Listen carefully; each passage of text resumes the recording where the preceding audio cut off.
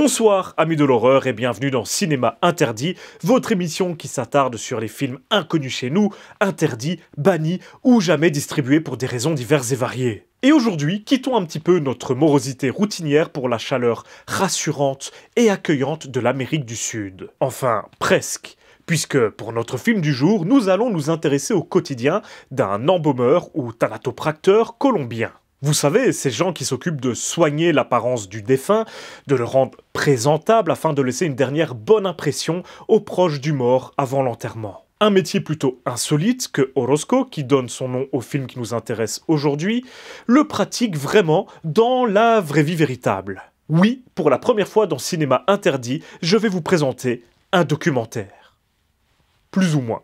Bref, vous allez vite comprendre, mais je vous préviens d'avance. Le film en question ne convient pas à tous les publics, âmes sensibles, s'abstenir. Même si évidemment dans cette vidéo il n'y aura aucune image choquante. Et j'ai déjà beaucoup trop parlé dans cette intro, donc c'est parti pour Horosco dit Embalmer. Générique.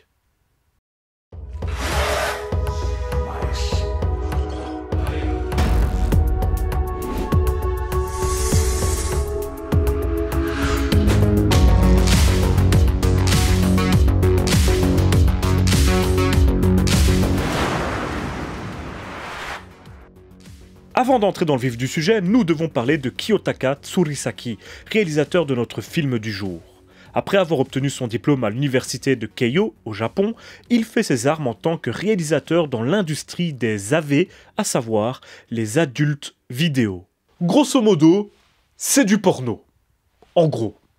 Mais c'est en 1994 qu'il commence sa véritable carrière en devenant photographe. Mais pas n'importe quel type de photographe, puisque Kiyotaka est fasciné par la mort sous toutes ses formes. Il devient alors ce que l'on appelle en anglais un corpse photographeur, un photographe de cadavres, et se met à travailler pour divers magazines spécialisés. Il voyage alors aux quatre coins du monde pour prendre des clichés un peu partout, mais plus particulièrement dans des endroits réputés dangereux, voire même en guerre. Palestine, Mexique, Russie, Thaïlande, Chine, etc. Son boulot est de prendre des corps en photo, mais n'allez pas le considérer comme un voyeur malsain ou un adepte du macabre. Bon, forcément, de l'extérieur, ça y ressemble beaucoup. Mais Kiyotaka est vraiment fasciné par la beauté de la mort, sa poésie et toutes les croyances qui l'entourent, et par la façon dont les différentes populations du monde l'aperçoivent. Même s'il est vrai que l'industrie qui lui permet de vivre à cette époque elle, est en grande partie alimentée par le voyeurisme et certains fantasmes malsains. Lui, il se présente comme un authentique artiste. Ces divers voyages finirent par le mener fin des années 90 en Colombie, à El Cartucho, l'un des quartiers les plus pauvres et dangereux de Bogota à l'époque, réputé pour ses junkies et ses dealers extrêmement violents. Les meurtres y étaient monnaie courante, d'où la présence de Kiyotaka en ce lieu peu habitué à la présence d'étrangers mais ce quartier était également surnommé rue Morgue à cause de la présence d'un grand nombre de funérariums, de morgues et autres maisons funéraires obligatoires vu le nombre de décès journaliers dans la zone. Et c'est en ce lieu ô combien particulier que Kiyotaka rencontra un certain Froilan Orozco Duarte, plus communément appelé Orozco, le plus ancien embaumeur de la ville. Kiyotaka fut immédiatement conquis par ce personnage atypique, fort d'une expérience de 30 ans en tant qu'embaumeur, sachant qu'il embaumait entre 5 à 10 corps par jour. Un sacré rythme. De cette rencontre et de la fascination qu'elle provoqua chez notre photographe, naquit l'ambition chez lui de raconter l'histoire d'Orozco. Il mettra alors de côté son appareil photo l'espace de 3 ans, 3 années durant lesquelles il filmera l'embaumeur durant son quotidien, le suivra dans ses tâches routinières, capturera l'embaumement de tout un tas de défunts, en captera les moindres détails, le tout au beau milieu de ce quartier malfamé où il côtoiera la misère, la violence et surtout la mort.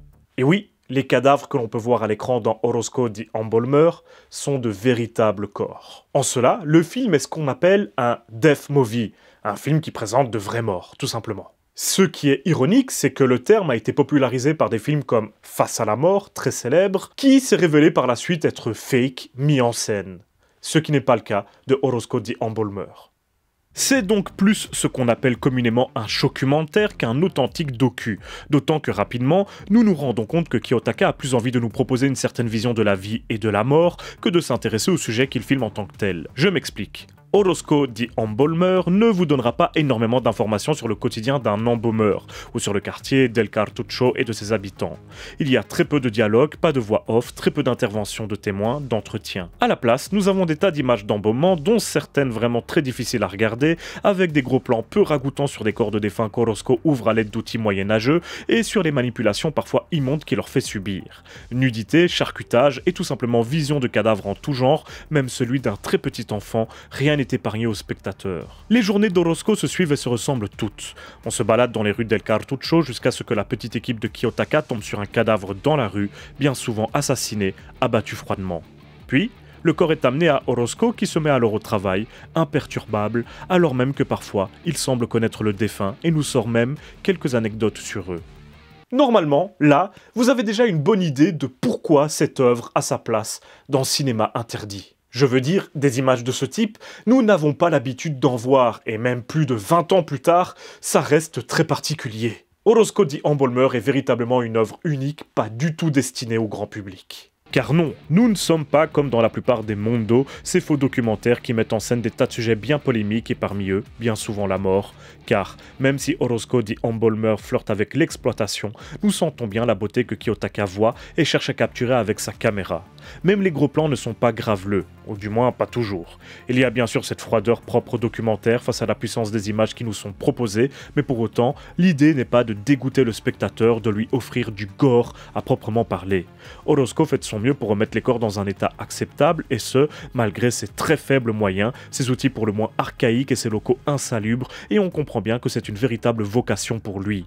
Il est même comparé à un moment dans le film à un autre embaumeur qui, lui, expédie beaucoup plus son travail, ne pense qu'au salaire, et n'a que faire du respect du corps, ni même d'exécuter correctement sa tâche. Orozco, qui ne prend que de très faibles paiements pour exécuter sa tâche, critiquera vivement ce genre de collègue, lui qui a décidé de consacrer sa vie aux morts de son quartier, où il a passé toute son existence. Il s'exprime librement quant à ses activités et Kiyotaka le filme sans aucune pression, alors que pour nous, spectateurs, ce que l'on voit à l'écran est non seulement insoutenable, mais en plus spectaculaire. Encore une fois, c'est du jamais vu. Et du coup, nous nous rendons également compte que la mort n'est pas du tout vue de la même façon à El Cartucho que dans nos villes occidentales où nous faisons tout pour ne pas y être confrontés, ou le moins possible. Bah oui, forcément, dans ce coupe-gorge colombien, la mort fait partie de la routine des habitants. En témoignent ces enfants qui regardent, imperturbables, des corps affalés sur le bitume en bas de chez eux, habitués à cette vision d'horreur. Ces images font sans doute partie des plus dures du documentaire, finalement, même plus que le vidage des corps exercé par Orozco et ses victimes anonymes qui jonchent le sol d'El Cartucho et de tant d'autres villes du même genre à travers le monde, à travers lesquelles la misère règne, Orozco leur rend honneur en faisant de son mieux pour les rendre beaux une fois qu'ils ont passé l'arme à gauche. Pour lui, chaque embaumement est une authentique cérémonie, un rituel, une véritable prière, alors même qu'il n'est pas du tout croyant. Le respect qu'il témoigne à ses corps est sacré, et force est de constater qu'il est très doué dans son métier, malgré ses conditions de travail, encore une fois. Et une telle dévotion, un tel désir de bien faire les choses, c'est beau. Et c'est d'autant plus important pour lui qui, avant d'être embaumeur, fut inspecteur de police et a participé dans sa jeunesse à des mouvements de violence durant la Valencia, la guerre civile qui a secoué la Colombie entre 1948 et 1960, durant laquelle il se livra à des passages à tabac et des tortures sur des citoyens, voire même, tout simplement, à des lynchages mortels. Action qu'il regrettera tout le reste de sa vie.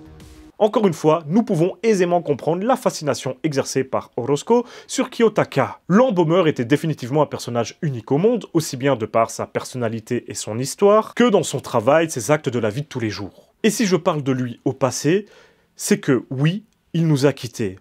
Et plus important encore, il nous a quittés durant le tournage du documentaire. Pendant les trois années que le tournage du docu a pris, Kiyotaka retournait fréquemment au Japon et revenait alors régulièrement en Colombie pour reprendre son travail. Seulement voilà, un jour, il revint et Orozco était décédé peu avant son retour. Il se permit alors d'interroger des habitants du quartier à propos de leur relation avec cette personnalité hors norme et filmera quelques rassemblements organisés en son honneur. Cette fin de documentaire, forcément inattendue, est très émouvante et permet au réalisateur d'à son tour rendre hommage et de témoigner son respect à cet homme qui fut pour lui une immense source d'inspiration, comme lui l'a fait pour chacun des corps dont il s'est occupé pendant plus de 30 ans. Kiyotaka le dira lui-même à plusieurs reprises. Il n'a jamais bien compris pourquoi Orozco avait accepté d'être suivi pour ce reportage, ni comment lui était perçu par l'embaumeur. Selon lui, Orozco voulait juste montrer au monde entier ce qu'était son quotidien et ce qu'était exactement l'art de l'embaumement et voulait démontrer son importance. Kiyotaka, lui, a su saisir la beauté dans le macabre et le sordide, a réussi à percevoir la poésie que dégageait le travail et le quotidien d'Orosco. C'est un peu la fleur qui pousse au milieu du champ de bataille, et il l'aura tellement touché que Kiyotaka donnera son nom à la société de distribution qu'il créera spécialement pour ce film et pour les suivants qu'il tournera, également consacrés à la mort et aux traditions mortuaires de diverses contrées du globe. Il deviendra d'ailleurs un spécialiste reconnu de ce type d'art en continuant la photographie et en sortant plusieurs ouvrages consacrés à ces images hors du commun. Une carrière atypique, mais étonnamment bien remplie. Et finalement, Orozco di Embolmer est un témoin inestimable de ce qu'était El Cartucho à l'aube des années 2000, ainsi que de la réalité vécue par ses habitants, ignorée par la totalité du reste du monde, et même par la totalité du reste de la population de Bogota. Des sans-abri, des junkies, des dealers, des laissés pour compte, des citoyens de seconde zone qui ont vécu toute leur vie dans une extrême pauvreté. Le film ne s'attarde jamais vraiment sur eux, mais a capté plusieurs instants de leur existence tourmentée, des images d'une rareté incontestable, sans aucune mise en scène ni aucun détournement, juste des tranches de vie d'une population habituée à un quotidien bien différent du nôtre et de leur environnement terrifiant, crade, hostile. Des images parfois dignes du cauchemar, tellement particulières qu'elles en seraient presque impossibles à reproduire à l'identique dans une œuvre de fiction et qui nous laissent un arrière-goût amer à nous, spectateurs confortablement installés pour visionner le documentaire. Et pour Kiyotaka, Orozco est le symbole de la violence que connaissait la Colombie à cette époque, de la façon dont certains quartiers étaient tout bonnement ignorés, l'enfer que pouvaient vivre certains citoyens, la faible valeur accordée à certaines vies humaines. Pour lui, filmer tous ces anonymes passés entre les mains experts de Orozco, c'est la meilleure façon possible de démontrer leur réalité.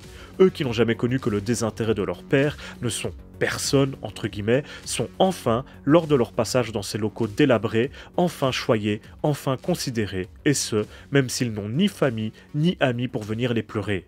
Orozco se moque de tout ça et traite chacun de ses clients, comme il les appelle par moments, de la même façon. Voilà un autre visage de la poésie macabre que Kiyotaka a réussi à capter. Le respect attribué à ces populations à travers la mort, qui reste le meilleur symbole de la dureté de la vie qu'ils ont menée, de la misère qu'ils ont connue durant toute leur existence. Et oui, c'est beau et émouvant. Néanmoins, il est évident que Orozco di Embolmer ne convient pas à toutes les audiences. Ça reste une œuvre extrêmement dure qui ne saura parler qu'à ceux capables d'aller au-delà de ces images choquantes. Encore une fois, Kiyotaka ne nous épargne aucun détail sordide. Après tout, la mort reste sa principale obsession et on le comprend bien avec certains des plans presque complaisants qu'il nous propose. Des dizaines de corps se succèdent sous l'œil attentif de sa caméra et forcément, ça ne plaira pas à toutes les audiences, c'est bien normal. La qualité médiocre de l'image, filmée en vidéo, à la manière des adultes vidéo japonaises de l'époque, certains experts parmi vous l'auront sans doute remarqué, vient en plus encore souligner le glauque dans les situations qui nous seront offertes. Le montage est assez sauvage, avec des scènes un peu n'importe comment et des musiques latines sans doute libres de droit à poser telles quelles un peu partout dans le métrage, sans vraie réflexion derrière. Mais peu importe, car les trésors du film sont bien entendu Orozco, sa personnalité, son histoire et ses actions prises en boîte, pas la façon dont elles le sont.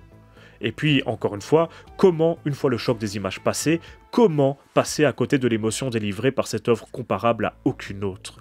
Comment ne pas être ému devant la mort de Orozco, qui n'aura pas droit à la dignité que lui-même aura passé sa vie à offrir à des inconnus, vu que sa dépouille finira dans une fosse commune? Il serait totalement oublié aujourd'hui, comme chacun de ses clients, si ce film n'avait pas été tourné, d'autant que même le quartier de El Cartucho n'existe pour ainsi dire plus aujourd'hui, rasé puis remplacé par des parcs. Orozco dit Embolmer semble fictif, tant il est incroyable, et c'est donc encore plus incroyable de se rendre compte que tout y est vrai. Et même s'il est hyper violent, que certaines de ces scènes sont horribles, abominables, insoutenables, le pire ne serait-il pas qu'il nous rappelle que notre propre mort est inéluctable et qu'à la fin, nous aussi, nous ne serons plus que des poupées de chair, oubliées par les vivants, qui continueront à vivre leur vie de leur côté. Peut-être que c'est ça la véritable terreur que délivre Orozco. En tout cas, c'est une capsule à la valeur inestimable à mes yeux, vraiment poétique, mais également assez immonde, autant à cause de ses images que de ses multiples messages véritablement violents. Orozco dit Embolmer avait à coup sur sa place dans mon cinéma interdit. Et voilà, c'est déjà la fin de ce petit épisode de Cinéma Interdit. J'espère qu'il vous aura plu. Et dans tous les cas, on se retrouve très bientôt pour une prochaine vidéo. Et d'ici là, surtout n'oubliez pas, si vous avez peur, c'est que vous êtes toujours en vie. Música